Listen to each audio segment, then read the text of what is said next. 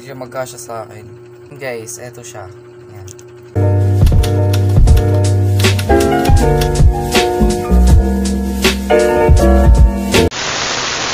What is up guys? Welcome back to my YouTube channel.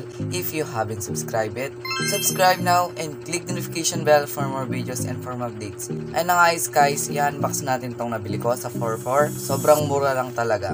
Sa halagang 6 pesos lang makakabili ka ng bracelet. Ayan, 6 pesos yung nakalagay. Free shipping po siya.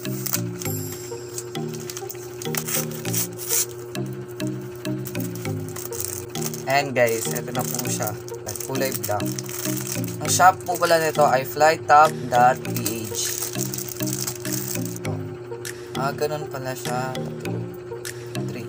Hindi magkasya sa akin. And guys, eto siya. Medyo maluwag lang kasi hindi ko siya kakasya. Sobrang payat ko.